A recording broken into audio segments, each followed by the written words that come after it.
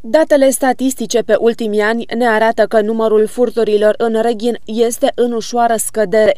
Totuși, nu e cazul să ne culcăm pe o ureche. Polițiștii reghineni ne avertizează că în ultimele luni se înmulțesc furturile din locuințe, magazine și mașini. În ultimii patru ani, de la an la an, am scăzut cu cifre mai mari sau mai mici, ținând cont de cele petrecute în a doua parte a lui 2012 sau finalul anului 2012 și luna ianuarie, aș înclina să cred că tendința este de creștere.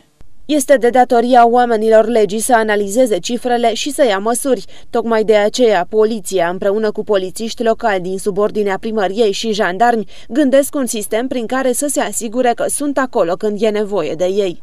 Încercăm prin crearea unui dispozitiv de siguranță publică, urbană, compus din polițiști, polițiști locali, uh, efective de la jandarmerie, să găsim o formulă flexibilă, să modificăm uh, intervalele orare sau schimburile în funcție de evoluția situației operative.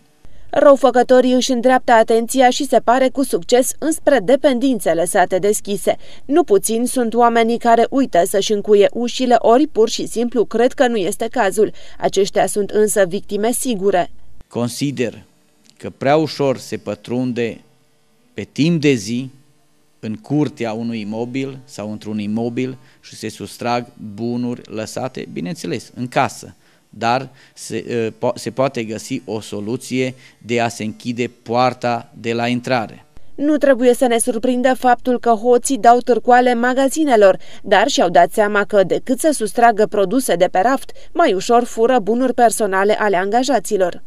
Aș avea rugămintea către personalul desemnat cu comercializarea diferitelor mărfuri în diferite societăți comerciale să fie mai vigilenți pentru că nu neapărat sau nu puține cazurile au fost că nu s-au sustras mărfuri expuse din magazin, s-au sustras chiar bunurile personale ale angajaților.